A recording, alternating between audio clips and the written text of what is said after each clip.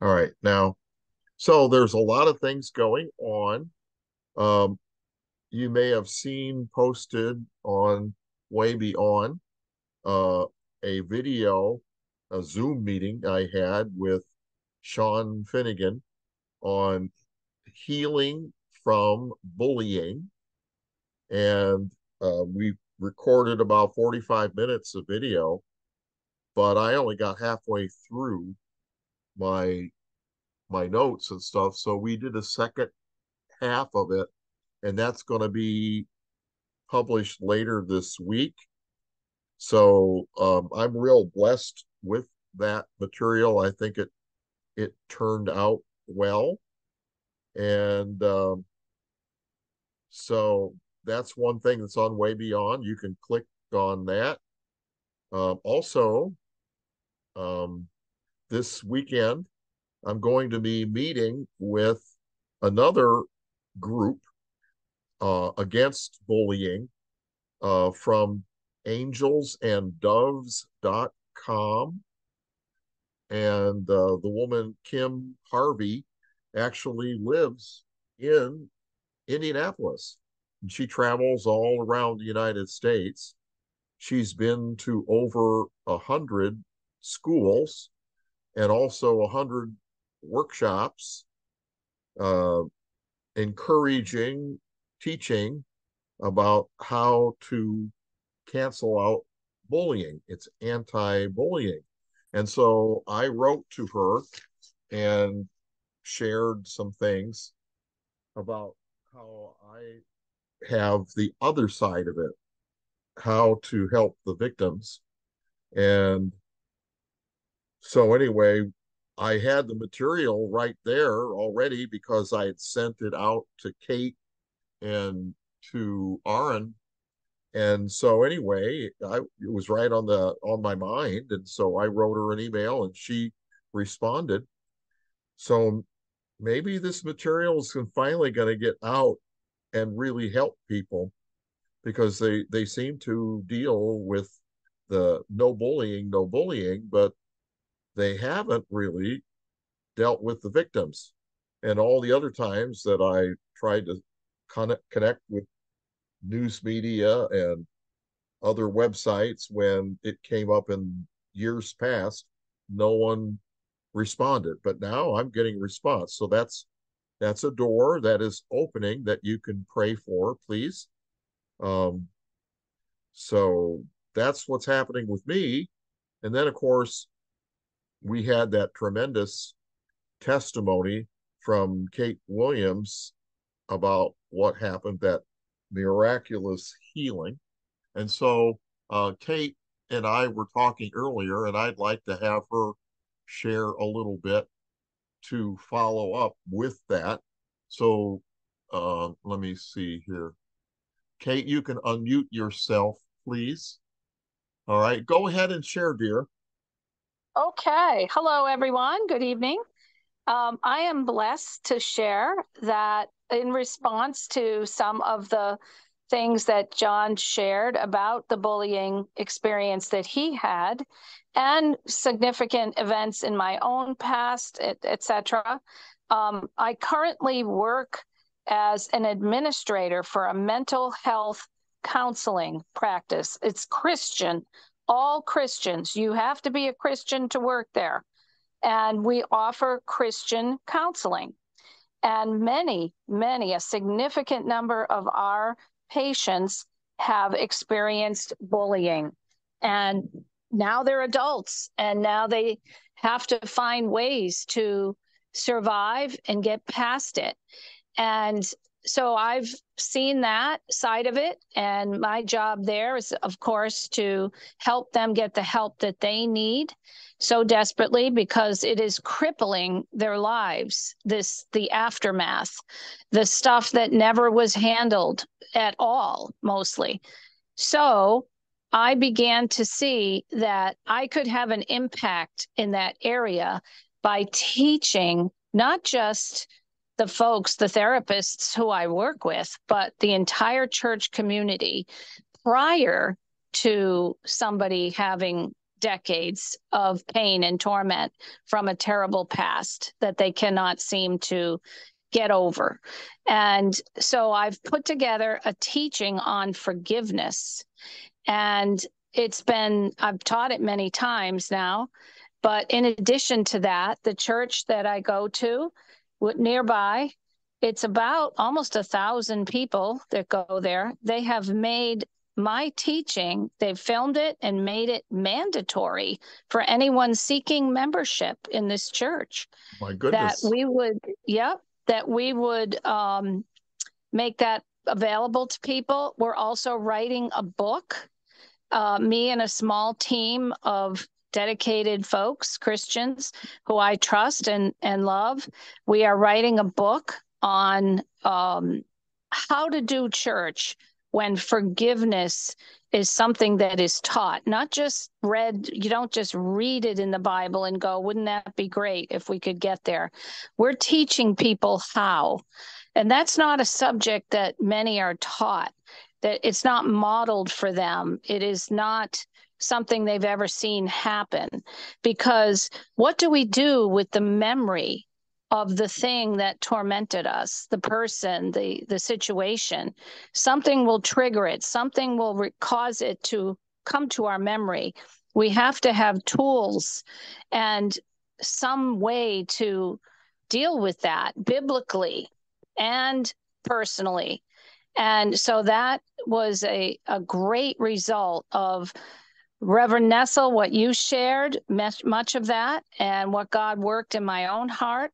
And I've got this teaching now that is going around all around my area. And people are reporting that they have been uh, breaking chains in their lives that have held them back for decades because of a tormentuous bullying incident or several, even that they just didn't understand. They didn't know what to do with the painful memory. And that is part of what we do where I work and where I church and where I fellowship. It is part of the healing process of getting rid of the pain that is associated with these tormentuous problems. So we take it a step further. We don't just say, well, they shouldn't have done that and it's wrong and and you know it, it's bad. We've got to come against the bullying.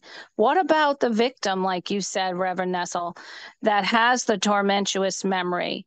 And what do we do with that? How do we help them? How do we help them overcome and get past it where they can forgive, where it's a possibility to live outside of that, no longer chained to it, no longer punished by the memory? Because the incident's bad enough, but the memory will keep punishing you if you don't release it. So, this class that it's part of a class, but they mine is the only segment that is mandatory. And I've heard amazing feedback of people who have finally been able to get around that and past it and now are teaching their own children, their you know, grown children and little ones about how to live in that place and to be a, a mature Christian without the shackles of the tormentuous pain. Just like Christ, if if anyone, he was tormented and abused and, and hated and despised and all of those things, but he found and knew a way to keep going. So when we tap into that, we are victorious over the memory. The memory no longer holds us back, it no longer has power over us.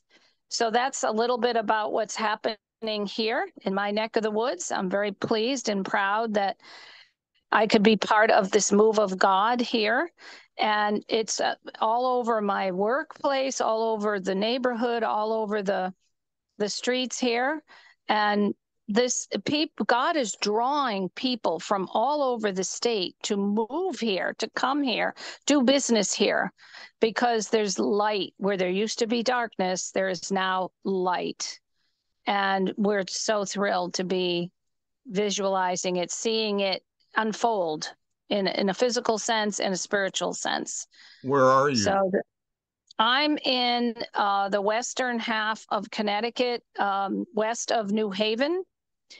I live probably 20 minutes from New Haven, so New Haven County, and thereabouts. Uh, the uh, practice that I administer has offices all throughout western and southern Connecticut.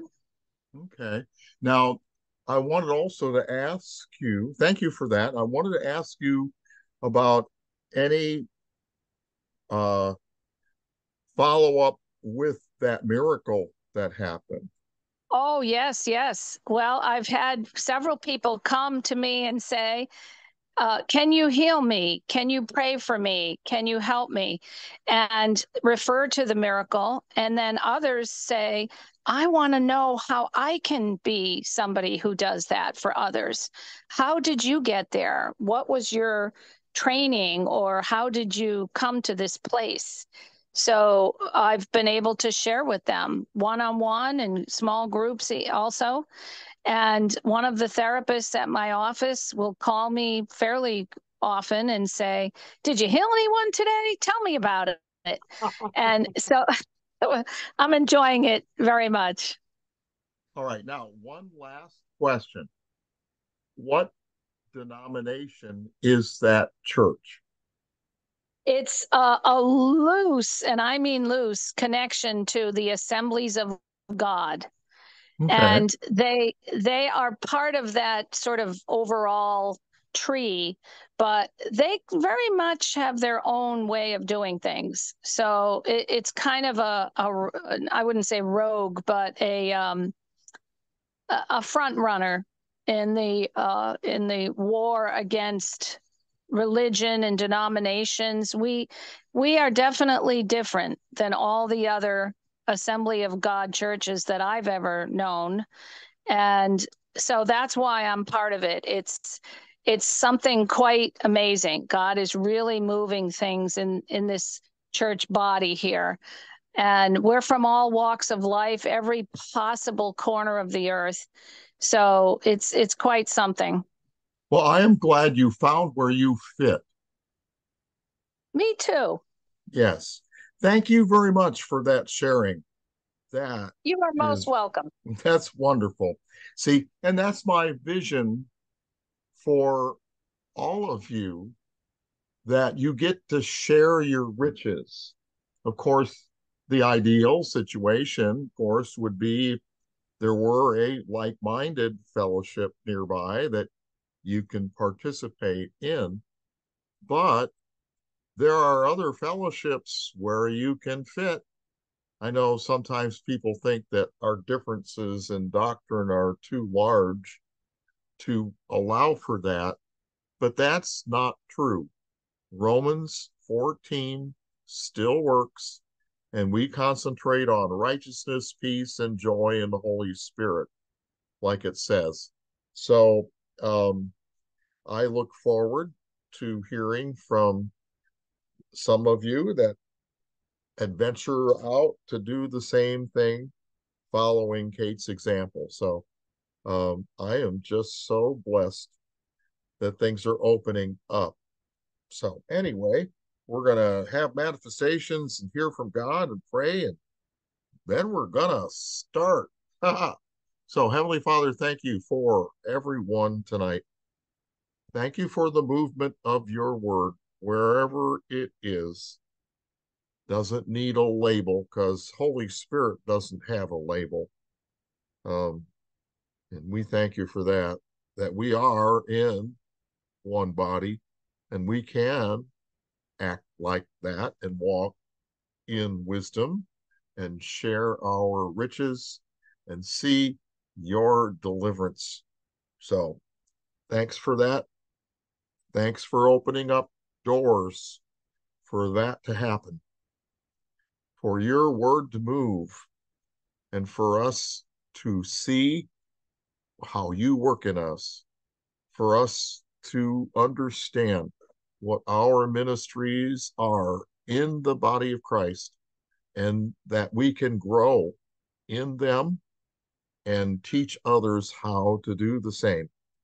We thank you for working in us and opening up those golden doors and for us to notice them and be brave and bold enough to walk through because working miracles is like falling off a grease log backwards. Once we know what to do, we just command it and it comes to pass.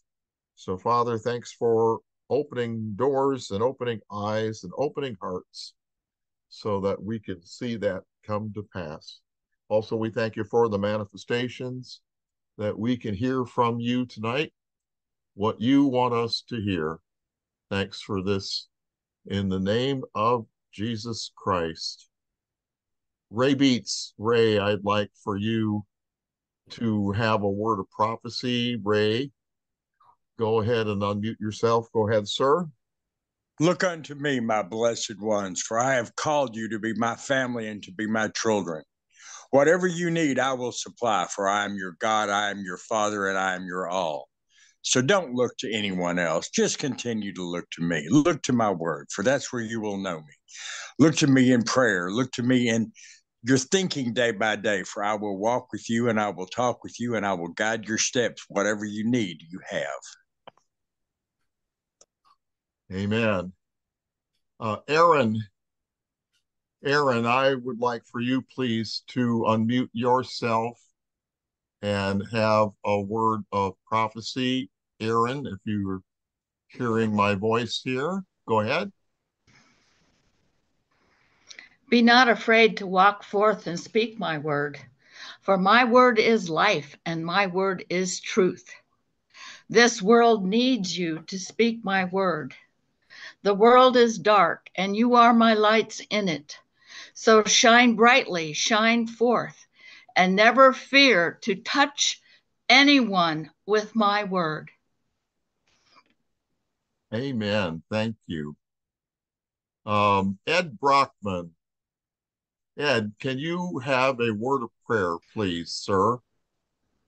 Dear Heavenly Father, I thank you so much for just what was shared about peace in the body of Christ and unity in the body of Christ, that, that we just hold fast that which is good. And we, we don't have to run away from things that we were different than what we previously thought. And I thank you that we can just reach out with great tenderness and love and to be able to minister, but also keep our hearts open for what anyone else might be able to teach us that you can confirm in our hearts and that we can grow thereby in the name of Jesus Christ. Amen. Amen. Thank you, Ed.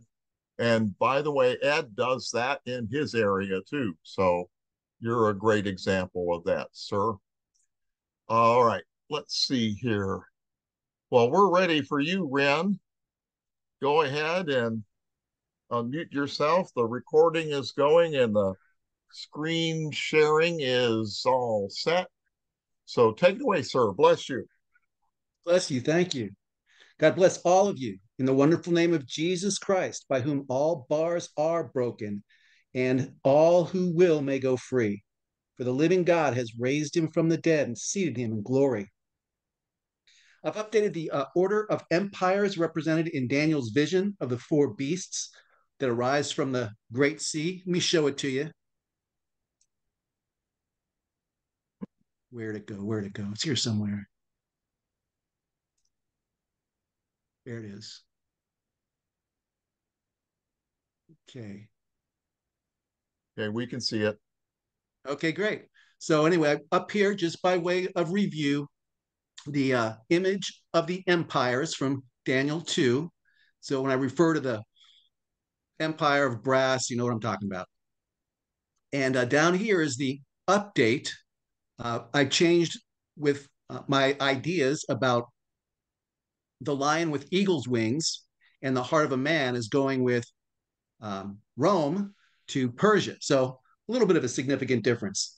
But the reason I did it is I learned that there was one style of Persian royal griffin during the Achaemenid Empire in Persia, uh, known as the Shirdal or lion eagle in Persia.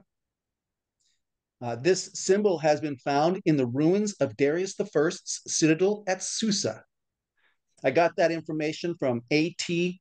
Olmstead's work, History of the Persian Empire. I'll put a link to the PDF uh, with the session notes. This symbol does not arise by metaphor, but from the history and culture of Persia. This use of symbol without an original originating metaphor also occurs in Ezekiel 29 3 and 4. I'll read it to you. Speak and say, Thus saith the Lord God, Behold, I am against thee, Pharaoh, king of Egypt, the great dragon, sea monster, uh, relative of the Nile, uh, relative to the Nile would be the crocodile, that lies in the midst of his rivers, and which says, My river is my own, and I have made it for myself. But I will put hooks in thy jaws, and I will cause the fish of thy rivers to stick unto thy scales, and I will bring thee up out of the midst of the rivers, and all the fish of the rivers shall stick to thy scales. In his companion Bible, Bullinger notes that the dragon was a crocodile, for the symbol of Egypt found on ancient Roman coins was the crocodile there's kind of a double meaning here, because indicating that God is also speaking of future events of the great white throne judgment. But in historic application, this crocodile represents the evil force animating Egypt, and the fish are the crocodile's minions. Likewise, God's prophecy in Daniel 7 4 confronted the devil spirit forces that would have animated Persia more fully if God had not intervened. Here is Daniel 7 4. The first beast was like a lion and had eagle's wings. I beheld till the wings thereof were plucked, and it was lifted up from the earth and made stand upon the feet as a man, and a man's heart was given to it. Daniel received this vision in the first year of Belshazzar. The Bible records a third royal year for Belshazzar, so there were at least two more years before the Persian Cyrus would rise to prominence. In his vision, the Persian griffin's wings are clipped, and the lion was made to stand on its hind feet as a man, and a man's heart was given to it. God beat the stuffing out of this poor griffin. The griffin became far less beast like. All of this sheds more light on Daniel 10, verse 20, where it says, And he, the angel, said, Knowest thou wherefore I come unto thee? And now will I return to fight with the prince of Persia. And when I am gone forth, lo, the prince of Grecia shall come. This prophecy in Daniel 10 is from the third year of Cyrus the Great, but it plainly foretells that the angel's battle with the prince of Persia would continue from 536 of Cyrus's reign until the rise of Alexander the Great in 331 BC. That is over 200 years of battle. And we thought a 15 round boxing match was too long. Let's look at Ephesians 6:12 one more time. Many of you have it memorized. For we wrestle not against flesh and blood, but against principalities, against powers, against the rulers of the darkness of this world, against spiritual wickedness in high places. That's what it says. We're in this fight now with the angels of God as our allies. Wow. What in the world happens when we renew our minds, walk with Father, and pray with the Spirit? mighty deeds. This God's word guarantees. Sometimes we see it, sometimes maybe we don't. But when we put on the armor of God, and when you and I renew our minds and walk in love and grace, big things do happen. No wonder 1 Corinthians 2 says that if the enemy had known the mystery and the riches of the glory of that mystery, he never would have crucified the Lord of glory. It's Christ in you, the hope of glory. Side note, when Daniel sees angels and receives these symbolic visions, which of the manifestation of the Spirit outlined in 1 Corinthians 12 is foremost? Yes, of course, discerning of spirits. Word of knowledge and word of wisdom were certainly part of these visions, but discerning of spirits was very much a part. Unlike the history of Greece and Rome, the Persian Empire went through what can only be described as a spiritual change. Cyrus's uh, proclamation to rebuild the temple was the will of God, but Darius I's part in rebuilding the temple and the walls of Jerusalem and his help in resettling God's people in Jerusalem is also very remarkable. Then, as Artaxerxes, uh, or as High King, his marriage to Esther continued to allow God to work in the empire to protect his people. Finally, in this period, the empire began to follow the monotheistic teachings of Zoroaster, under which the Magi thrived. We don't know how God would have symbolized the changes in the Babylonian Empire because it was not part of this prophecy. However, the dramatic changes happening with the griffin are much more easily applied to Persia than to Greece or Rome. So there we go. We scrolled it down. Yeah, the empire symbols are not in chronological order of each empire's rise and fall. The first empire, Persia, as symbolized by the griffin, is nevertheless the next empire to rise, and the beast is the last empire to fall. The other empires do not undergo dramatic changes.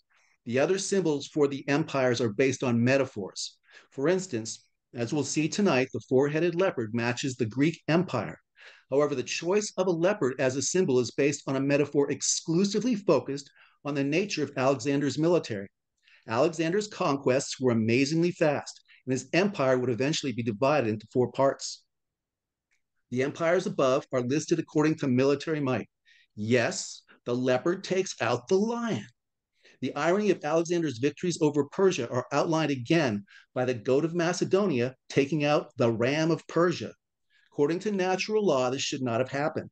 Nevertheless, the lion is first in military strength, the bear is second in strength in the animal kingdom, but the leopard, though deadly, is not the equal of the lion or the bear. The beast itself, uh, the last monster, is of a different type or nature than the first kingdoms of the first uh, three visions.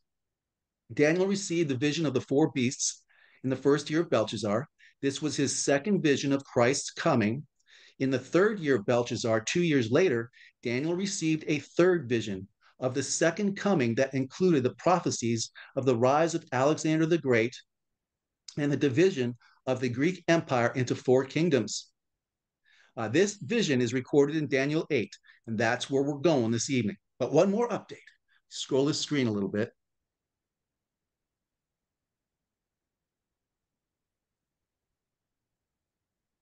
Once again, last week I was going at breakneck speed, and I simply plugged in the King James Version of 1 Peter 1.11, which reads, searching what or what manner of time the Spirit of Christ which was in them did signify when it testified beforehand of the sufferings of Christ and the glory that should follow.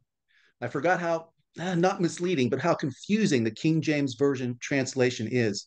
The Spirit of Christ which was in them is not an accurate reading of the Greek. As Reverend Nessel notes, the placement of, uh, of the of Christ follows the verb signify Hence, it should read, the spirit which was in them did signify of Christ.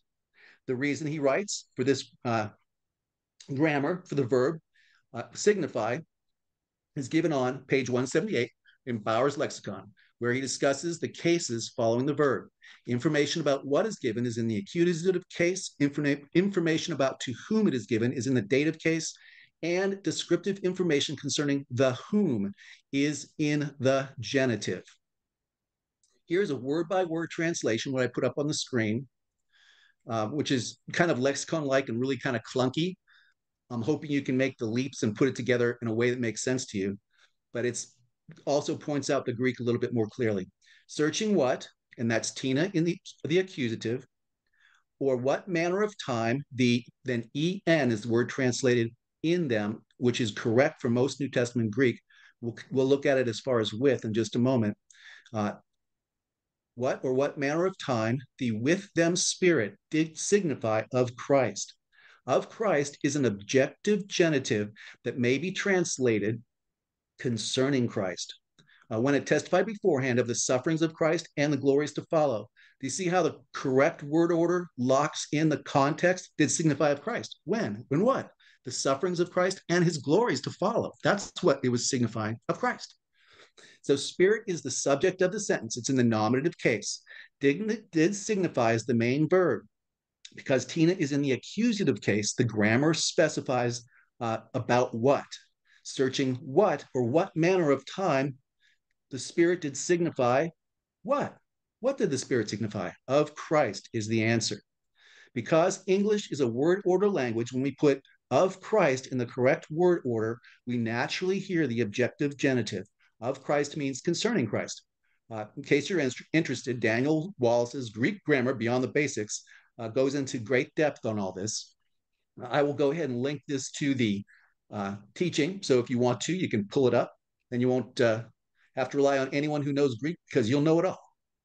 Also, uh, I would go with translating the en as with. The en, usually translated in in the Koine New Testament, uh, to mean God's Spirit with His men of old, because we're talking about the men of old. We're talking about the Old Testament guys. Uh, his men of old makes that would, would make this the last in a sequence of uses with the Hebrew preposition be. Brown Driver Briggs, word 974. Uh, and its Aramaic counterpart, Brown Drivers and Briggs, word 10784. Uh, the concordances don't mess with the prepositions because there are too many of them to catalog. Anyhow, these Old Testament uses show the relationship between God's Spirit and his prophets over time. The Septuagint uses en to translate these Old Testament uses.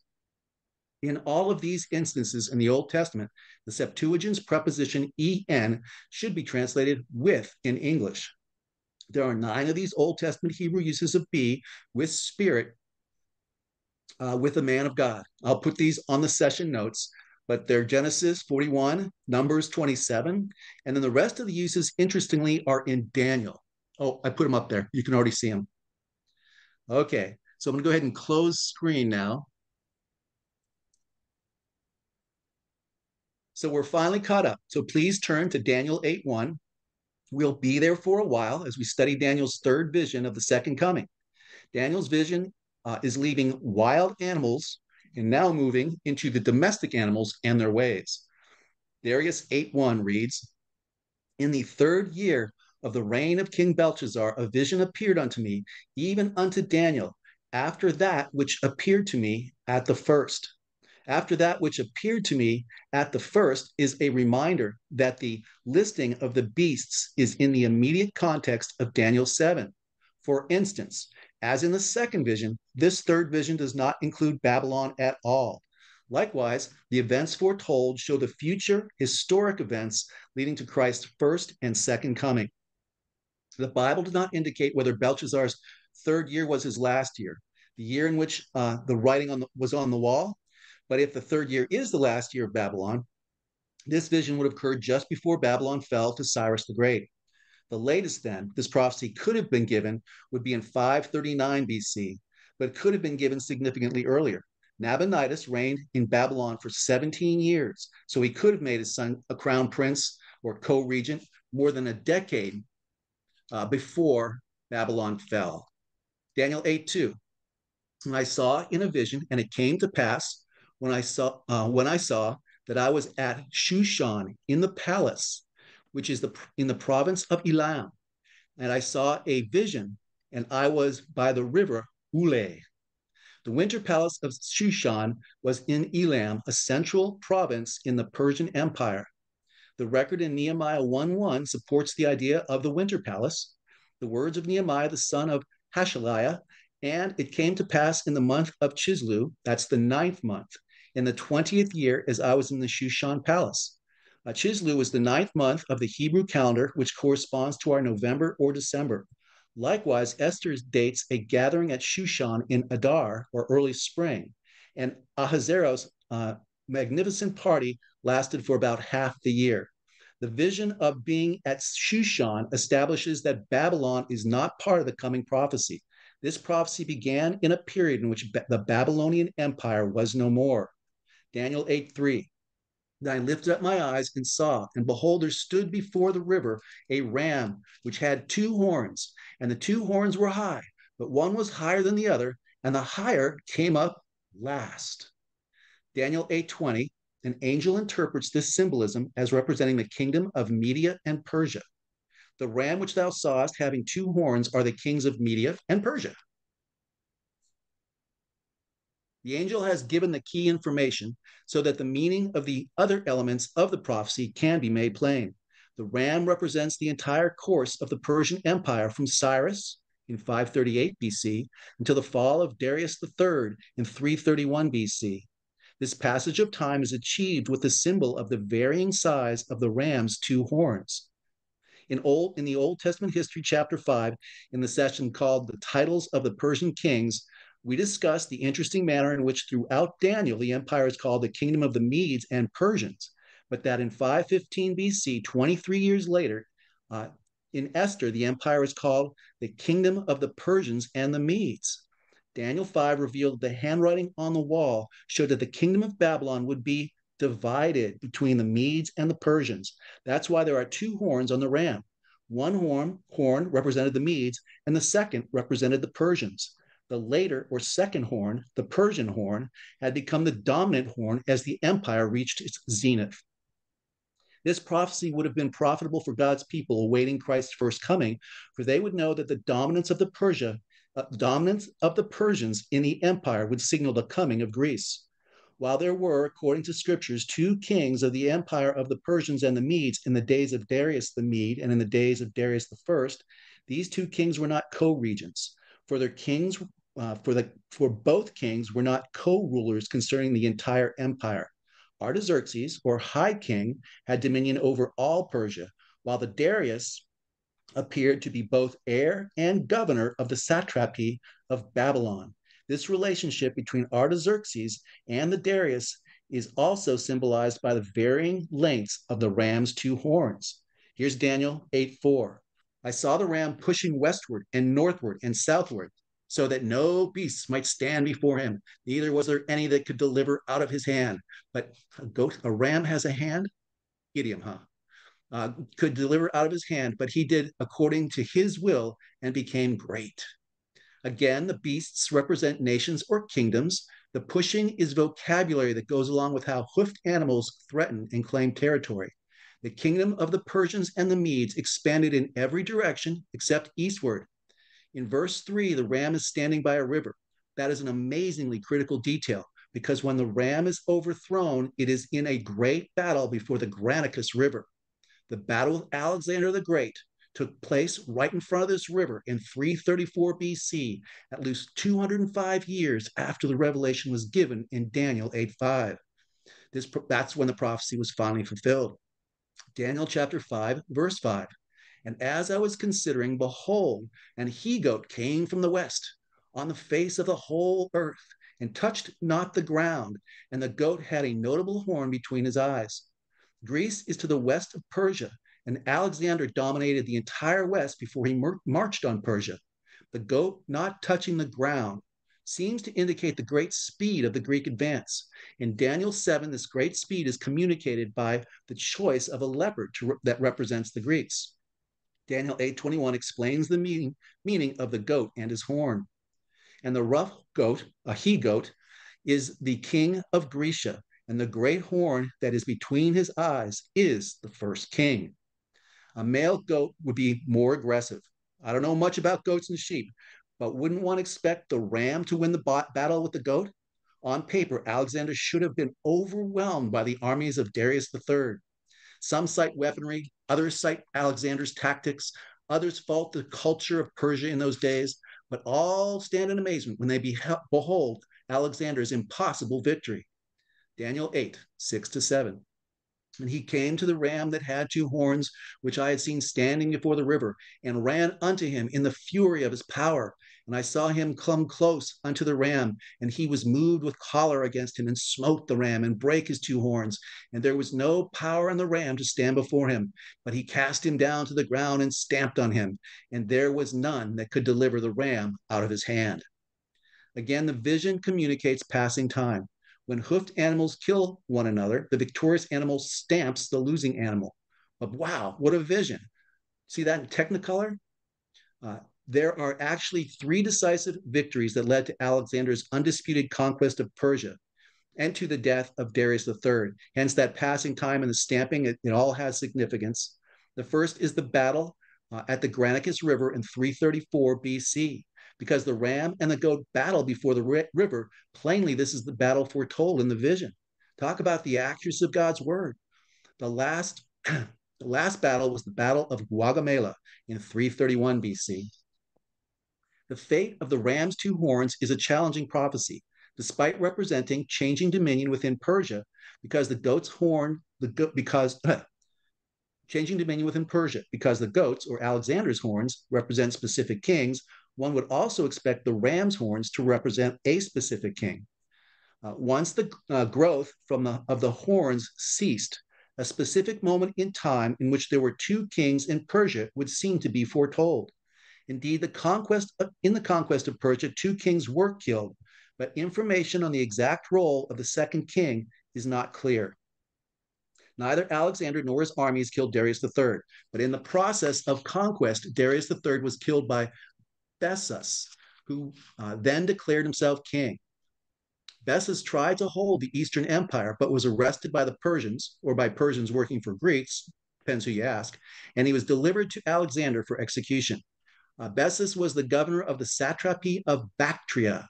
According to Livius.org, this satrapy was incorporated into the Achaemenid Empire, the uh, which is the Persian Empire, as a special satrapy that was sometimes ruled by the crown prince or intended heir.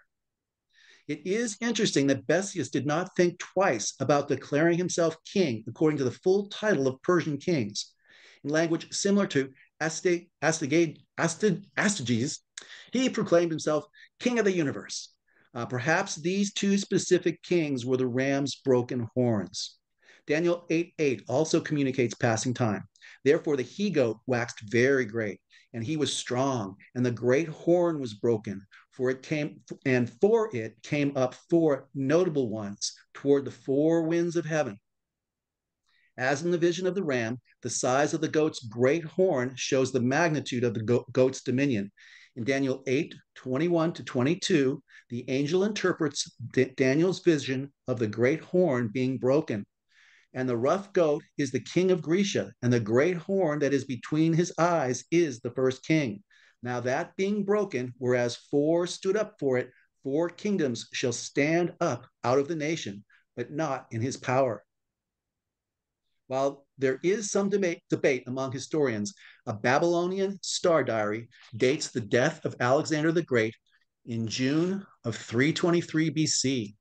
Hence, if the latest that Daniel could have received this prophecy was 539 BC, this prophecy of Alexander's death was given at least 260 years before it was fulfilled. The idiom in Daniel 8 8, with the four notable kings toward the four winds of heaven, simply means that the four kings were scattered to every corner of Alexander's the Great's kingdom. In other words, the entirety of Alexander's kingdom was divided among these kings. Curiously, this idiom uh, occurs in Jeremiah 49, 35 through 37 concerning Elam, that core province of the Persian Empire.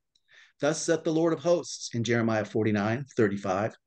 Thus said the Lord of hosts, Behold, I will break the bow of Elam, the chief of their might. And upon Elam will I bring the four winds from the four quarters of the heaven, and will scatter them toward all those winds. And there shall be no nation whither the outcasts of Elam shall not come. For I will cause Elam to be dismayed before their enemies and before them that seek their life. And I will bring evil upon them, even my fierce anger, saith the Lord, and I will send the sword after them till I have consumed them. Sometime before 587 BC, the year in which the temple was destroyed, which is also the last year we have a record of Jeremiah's life, Jeremiah foretold the fall of the Persian Empire in 331 BC. His prophecy was fulfilled uh, at least 256 years after it was given we get used to being the Bible being really accurate, but the word just doesn't, the world just doesn't know this stuff. One of the things I might try to do before I put this attachment up with the session is to list all the prophecies and the fulfillment of those prophecies. It's remarkable. The world just doesn't know, they have no clue. Jeremiah's prophecy included the idiom with the four winds. To simplify this for my own thinking, I've labeled this form of the idiom as heaven exhale, exhaling the four winds. It's not like the winds blew a quarter of the Persians in a straight line to the north, and another march of Persians ended up heading straight south. No, the heavens exhaled on the Persians and scattered them everywhere. They were scattered in every direction. They were utterly and completely scattered. Uh, the second form this idiom takes is what, for simplicity and memory's sake, I term the inhalation form. This form of the idiom can be found in Ezekiel 37 9 through 10. Then he said to me, Prophesy unto the wind, prophesy, Son of Man, and say to the wind, Thus saith the Lord God, Come from the four winds, O breath, and breathe upon these slain that they may live. So I prophesied as he commanded me, and the breath came into them, and they lived and stood up upon their feet, an exceeding great army. You know, the Persians had a kind of a marine corps uh, that their kings named the immortals. Ah, talk about immortals. What about Ezekiel's army? Ezekiel 37 is probably laughing it up. Anyhow, instead of the winds going outwards from the heaven, they are being summoned from the four corners to raise the dead who are on their way to heaven. This inhalation form of the idiom is very important for Matthew 24 31. Yeah, even though you change languages and you change testaments, you change covenants, uh, the idiom remains the same, same author. And he shall send his angels with a great sound of a trumpet, and they shall gather together his elect from the four winds, the one end from the one end of heaven to the other. Just as the wind is summoned from every corner of the earth and arrives from the uttermost parts of the earth, so when it's exhaled, the reigns of the four kings who will arise in Alexander's empire are foretold to rule over every last inch of it. Daniel 8 8 also contains the difficult Hebrew phrase, but not in his power. All the commentaries say that this means that the four kings uh, would not rule according to the power of Alexander the Great. This seems self evident, but what would that really mean? Is Daniel foretelling that these four would not conquer other land masses the size of Alexander's empire? Doesn't seem to make too much sense about why Daniel would prophesy that. The common Hebrew preposition here uh, should not be translated in or with. Instead, it should be translated by. The four kings would arise, but not by Alexander's strength. The Hebrew word translated strength is translated might in Genesis 49 3, where Jacob speaks of Reuben. Reuben, thou art my firstborn, my might, and the beginning of my strength the excellency of dignity, and the excellency of power. One of the uses of strength can indicate progeny, especially of an heir. In Jacob's case, he would speak of the rest of his strength, of his progeny in prophecy all through Genesis 49.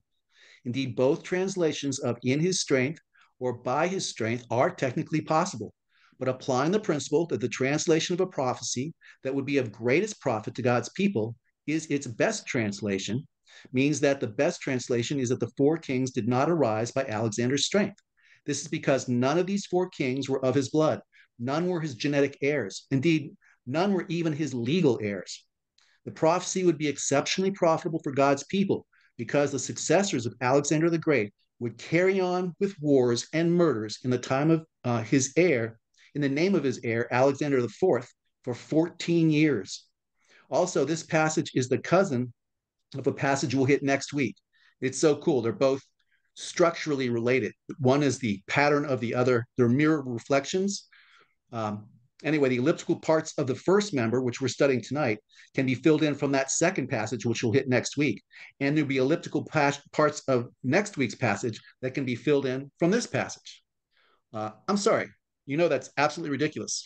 No human could ever write like this. This is what I mean by the study of the Old Testament is for our learning, that by patience and bearing up under, the, uh, we might have comfort and hope. The deeper one looks into the Word of God, the more one sees how supernaturally perfect the Bible is. His presence with us is in the Word and in us, and we just connect the dots. Uh, the prophecy of Daniel 8 8 then as augmented by the angel's interpretation, communicates the passing of time from Alexander's death in 323 until the murder of his last heir in 309 BC. What follows is the fourth war of Alexander's successors. These are the successors that are named from the Greek word for successor, and they're called the Diadochi. This fourth war of the Diadochi concluded in 301 BC. Go ahead and share a screen with you so you can see what's going on here. Okay. We can see it here. In the immediate aftermath of Alexander the Great's death in 323 BC, no kings arose at all. Instead, in the treaty called the Partition of Babylon, the successors of Alexander, whom the history calls Diadochi, uh, divided Alexander's kingdom into this mess.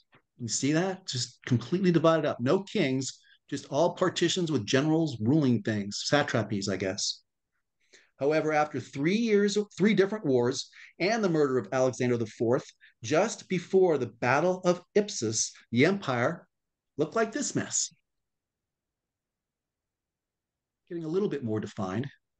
Ptolemy's in the south, Antigonus is in the north, Seleucus is off in the east, and a couple guys up here, Cassandra and Lysimachus, are way off in the west. Alexander the Great's last heir was secretly murdered in 309 BC by the order of his regent Cassander. Where is Cassander? Yeah, they have a different spelling. Cassandros up there. He's the regent, the guy supposed to be taking care of the king's kid. Uh, however, by 306 BC, Antigonus must have learned of the assassination, for he proclaimed himself king of all Alexander's empire. And that would make everyone else uh, that resisted his rule traitors and insurrectionists. What resulted was the fourth war of the Diadochi. The war is a series, this war is a series of battles that look like the pickup football game called Cream the Carrier. That's the one where everyone tries to tackle the one crazy person who wanted to carry the football. Uh, the ball carrier in this case was Antigonus. And uh, an interesting summary of the wars of the Diadochi can be found on YouTube. I'll put that link up there. Did I do it? I think I did. It's in here somewhere. But anyway, uh, it's kind of crazy. But still, after Antigonus declared himself king in 306 BC, uh, Lysimachus called, con- declared himself king in 306 BC. Ptolemy declares himself king in 305. Seleucus declares himself king in 305. And Cassandra uh, declared himself king in 305. There are now five kings and five kingdoms, not four as Daniel 8 8 prophesies.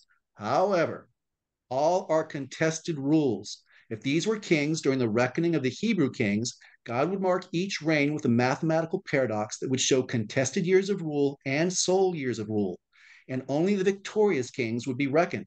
In like manner, Daniel's prophecy only reckoned the reigns of the four kings who remained after Antigonus had been killed, and a treaty recognizing the division of his kingdom had been ratified by Lysimachus and Seleucus.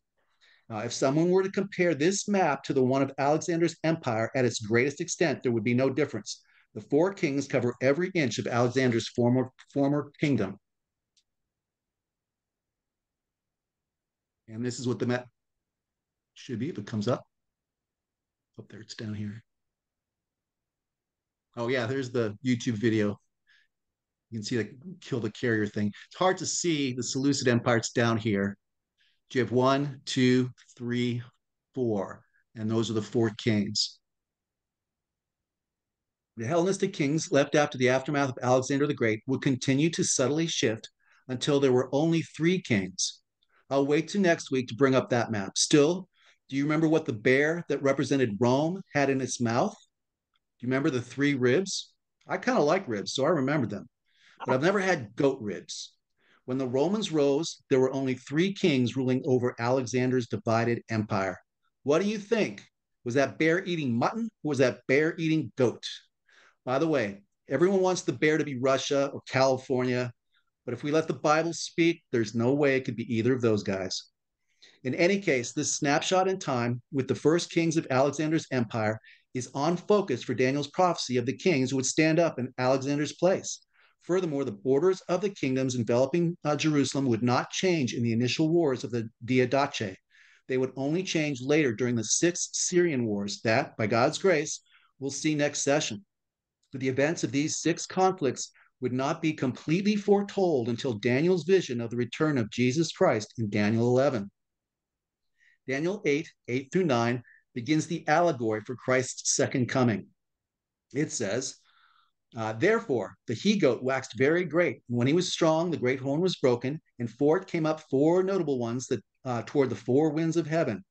And out of one of them came a fourth little horn, which waxed exceedingly great, toward the south, toward the east, and toward the pleasant land. That's Israel or Judah. Here, the closeness and biblical meanings for king and kingdom become very plain. When the horns arise, they are kingdoms. When the horn is broken, a king is defeated and dies. Out of one of the four kingdoms, another king and his kingdom will arise. This king is Antiochus IV, and during his reign, he will conquer Jerusalem twice, defile the temple, and cause the daily sacrifice to cease. Antiochus IV sets a pattern for an allegory for the coming of the Antichrist. There are many ways to say this. We could say Antiochus prefigures the Antichrist, or we could say Antiochus is a type or tupos of the Antichrist, and that the Antichrist is the anti-tupos or antitype of Antiochus IV. We'll use this later language because it seems easiest. It doesn't sound easiest, right? But actually it is. Uh, but no matter how we cut it, Antiochus IV was a real jerk. We'll use Greek words from the Bible because the English to me sounds flat. A tupos has some depth. Many points of the tupos, by extended metaphor and narrative, outline the anti-tupos. All right, scrolling the screen now. Oh, this is the common list of kings, and they're most of the commentary have this the four kings right. They have the snapshot correct. And there's the outline of the kings and their provinces, kingdoms. Okay, so I'm to leave this here so as I'm talking, you can follow along. Reconciling the apparent contradiction between Daniel 8:23 and Daniel 8:17 illustrates this use of tupos and anti-tupos between the historic events and the picture drawn by the extended metaphor, which picture is the anti-tupos. Uh, Daniel 8:17 says the vision is at the time of the end, but the angel speaks of the fifth horn as being in the later days of their kingdom, the kingdom of the Hellenists, the, the kingdom of brass. Since Daniel 2's revelation of the image of the empires the anti, uh, tells us the Antichrist does not arise until after the empire of iron, that's another contradiction. The resolution of this contradiction is to recognize the Antiochus IV Epiphanes is a tupos of the Antichrist. That is, he is a foreshadowing figure who foretells and reveals the enemy's doom in an allegory. Daniel's vision, vision from Daniel 8, 3 through 11 foretells of events in the kingdoms of silver and brass. Then Daniel 8, 12 through 14 reveals the foreshadowing allegory of the events of the last time, the tupos. In turn, the angel's explanation of the vision in Daniel 8 20 to 23 concerns events in the kingdom of kingdoms of silver and brass. But in Daniel 8 24, the angel explains the meaning of the foreshadowing allegory, the anti-tupos. In the chart below, uh, you can see slight alterations made in the angel's summary uh, that are the explicitly stated events, events uh, of the foreshadowed uh, Antichrist, foreshadowed by and, uh, Antiochus IV. I've also pla- I've placed the outline of this double meaning stuff in two different charts. Hopefully, one of them will help. So you can see the first one, and there's some slight differences. Uh, cast down some of the host shall destroy the mighty and holy people. So that's the that's what's going to happen in Revelation. Uh, the enemy gets them all, kills them all, then the resurrection of the just. Here, just some some of the stars. And then not, but not by his own power. And then let's see. Boasted against the prince of the host. That may turn out to be uh, Judah Maccabees. Daily uh, sacrifice was taken away, and the Holy of Holies was cast down.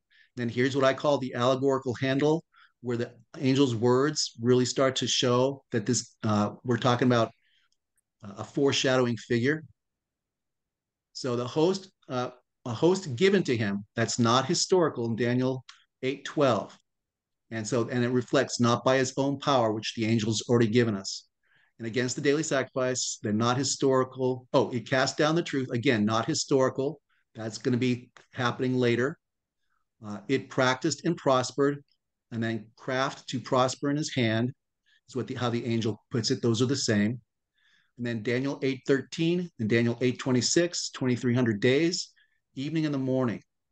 I put together an outline as well. This might work better for you, but it, will be up there. You can look at it at your leisure uh, once it's posted. But yeah, uh, Antiochus and the Antichrist, his rise, his rule, and his doom are the three basic categories. And then these are the various verses. We kind of go uh, work through them you can see that some are the anti-tupos, some are both. Uh, at the latter time of their kingdom, to me, that's the tupos foreshadowing what's coming up uh, after the church has been gathered. But some may contend that that's both, that the Antichrist will arise from the Seleucid Empire or thereabouts. So who knows? The transgression, uh, when the transgressors are come to the full, that's in both a king of fierce countenance, an impudent king has the NAB, an insolent king has NAS, there's kind of a double meaning to this thing. Um, Antiochus IV, impudent and insolent, but the Antichrist, fierce countenance. And understanding dark sentences, understanding stratagems, and that's both. Um, Antiochus IV connived his way into getting the reign, and uh, he also sneaks his way into taking Jerusalem for the second time. Uh, and then his rule, his power shall be mighty. That's the antitupos because it's not historical, not by his own power. Revelation 13 2, the dragon gave him his power. That's the antitupos. Uh, and he shall destroy wonderfully. Wonderful things will he destroy. And again, that that's both, but you can kind of see there's a double sense to it. Uh, amazingly destructive is more a reflection of the anti-tupos. Wonderful things will he destroy, like in the in Jerusalem. That's Antiochus four, but both. Uh, and shall prosper in practice, and what they're pros- what's prospering in practice is deceit. That's both. Uh, just the degree is what's different. And shall destroy the mighty and holy people, both uh, the enemy gets them all in the period after the church has left, uh, but they were still getting destroyed, process thereof by Antiochus IV. And through his policy also, he shall cause craft to prosper in his hand. And here's another translation. And by his understanding, he hath also caused deceit to prosper in his hand. And he shall magnify himself in his heart. That's both. And by peace or stealth shall he destroy many. That tupos is very historical and it foreshadows the enemy. And then his doom. And he shall also stand up against the prince of princes. That's the anti tupos. Uh, because Antiochus IV had no way of doing that because the Lord Jesus Christ has not been raised from the dead yet, was not seated up on high, so he could not rebel against the Prince of Princes. So that's non historical. The anti tupos does that. Uh, but he shall be broken without a hand. And this is for both of them. Antiochus IV dies mysteriously away from Jerusalem. Uh, both the te- uh, and that's both, and then the temple is contained is cleansed after 2,300 days. That could be the antitupos only, or it could be both, but it's certainly the antitupos. All right, and let's see. The 70 weeks will be there in a second. You don't need to see that yet. okay, let me go ahead and go through some of this again. Um, Here's Daniel 13, 8, 13 through 14. Then I heard one saint speaking, and another saint said uh, unto uh, that certain saint which spake, How long shall the vision concerning the daily sacrifice and the transgression of the desolation to give both the sanctuary and the host to be trodden under foot? And he said unto me, Unto two thousand and three hundred days, almost six and a half years, then shall the sanctuary be cleansed the cleansing, according to both Josephus and First Maccabees, took place three years after Antiochus IV Epiphanes took Jerusalem the second time and defiled the temple. This would have been from 167 uh, 167 BC. Oh, 0.9 BC because it's the ninth month. That's where I wrote that down. 167.9 BC until uh, 164.9 BC. This count does not match the time frame of Daniel's prophecy. However, the vision's beginning is meant to, if the vision's beginning is meant to include Antiochus IV Epiphanes' first sack of Jerusalem as well, then the count would start from 169 BC, counting uh, a Hebrew year as having 320 days and tossing in two leap months. This count could uh, almost be six Hebrew years, uh, hits 1,930 days. This is pretty close. For instance, the missing 70 days could be the result of the beginning of the vision, including uh, Antiochus IV's gathering of his armies and his march from Egypt, both of which could easily have begun 70 days before Antiochus IV's arrival at Jerusalem in 169 BC. Reverend Nessel wrote about this a little bit more precisely. I'll just kind of read from, from what he's written here. And I think we'll call it a night. I was going to do um, the uh, seven, uh, 70 weeks but I think we're out of time. So let's go ahead and just kind of close it out here. It gives a time span of 2,300 days. This is exactly 78 lunar months. When one does a comparison with the book of Maccabees, the time span does not fit the total length of the time the temple was actually desecrated. Antiochus IV set up the abomination on the 15th of Chislew and sacrificed on the 25th of Chislew. and in 167 BC. The temple wasn't cleansed, was temple was cleansed three years later when Second Macedon, uh, according to Second Maccabees 452, and it was on the 25th of Chislev. But there is more. It also includes the phase trot phrase trodden underfoot. Historical rec- history records the temple was rededicated on the 25th of Kislev in 164, which was the inception of the Jewish, Jewish feast of Hanukkah. If we consult Parker and Dubberstein's ancient Jewish calendar, uh, we can see that the years 170 BC and 167 BC had an intercalendary 13 months. Uh, that means Adar 2 in them. So counting backwards, 78 months from the cleansing of the temple and the end of the abomination of the desolation brings us to the end of the month Av, the fifth month in 170 AD. Antiochus IV fought the Egyptians in the Battle of Mount Casius in early November of 170 BC.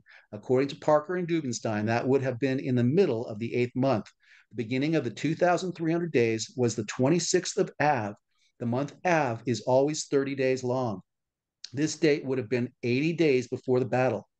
Uh, Orbis Stanford EDU website calculates that a Roman legion would take about 50 days to travel the 300 miles from Damascus to the battle site of Pelusium via Jerusalem at a speed of ox carts. So it is not implausible at all that the sanctuary was trodden underfoot by advanced elements from Antiochus in the summer of 170. He certainly had been meddling in the priestly affairs throughout most of his entire reign.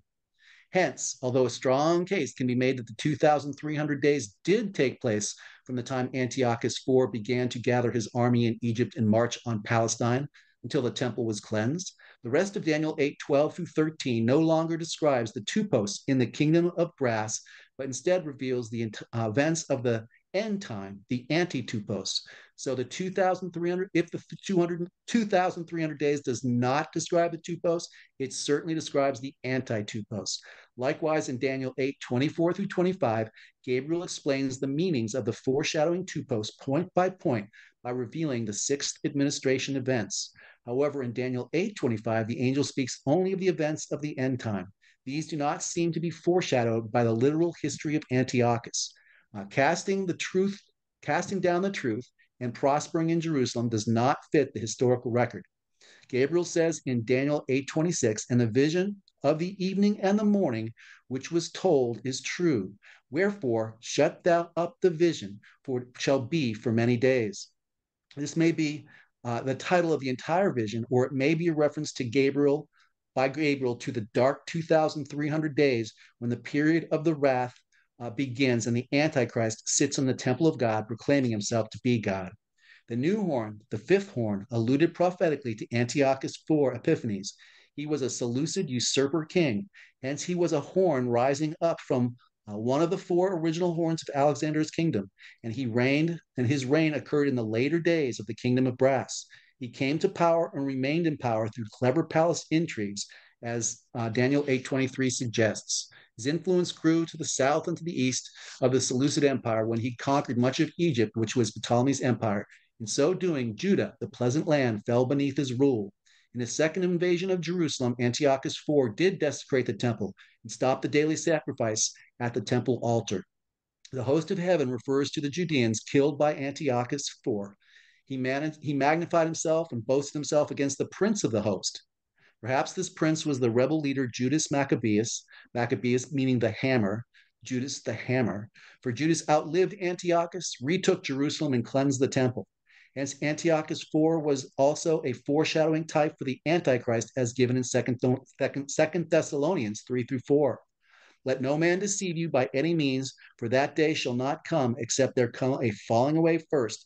The man of sin may be revealed, the son of perdition, who opposes and exalteth himself above all that is called God, or that is worshipped, so that he as God sitteth in the temple of God, showing himself that he is God. The record of Antiochus IV of course, could not be the abomination of the desolation spoken of in Matthew 24 15, for the events of first Maccabees had long since passed. Wherefore, when ye shall see the abomination of the desolation spoken of by Daniel the prophet, stand in the holy place. Whoso readeth, let him understand. We'll take a look at that next week when we hit the acceptable year of the Lord. Uh, but that should hold us for this evening.